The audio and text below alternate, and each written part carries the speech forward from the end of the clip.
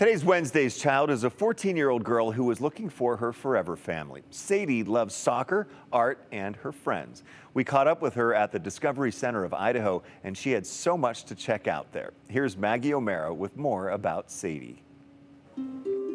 Sadie met up with us at the Discovery Center of Idaho. There is so much to see with the new Star Wars exhibit. Sadie is a 14 year old girl. She's been with us for about two years now. Um, she's very smart and intelligent, very funny. Sadie also loves soccer. I like soccer. I don't know because I've played it since I was like four. I have a lot of trophies and stuff. She doesn't have a favorite team right now. I like them all. She also told us she likes to watch true crime. Documentaries.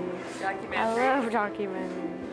And I like cartoons. And she's a spray paint artist too. I think she enjoys being creative and doing her own thing. Sadie is really proud of her Mexican culture and traditions, and she's really excited about her future quinceanera. Quinces are like, they're important because it's like when you're becoming a woman. My dress is pink and white. Sadie has does have um, some family still around um, that she wants to stay in contact with. She has a grandmother that she's very close to and goes to visit on a regular basis and stays the night with. Last week she made chili verde. But this teenage girl is looking for a special place to call home. She wants a family. She wants a family that will understand her and be there for her.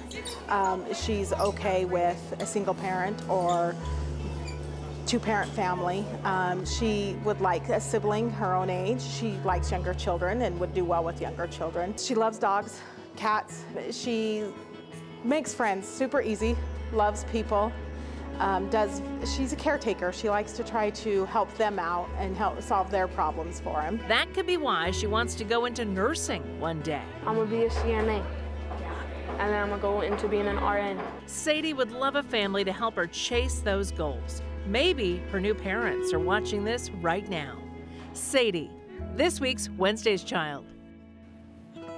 For more information on Sadie, go to this story on KTVB.com or contact Idaho's Wednesday's Child. Sadie's team would love to talk to you. The news at 4 will be back after this.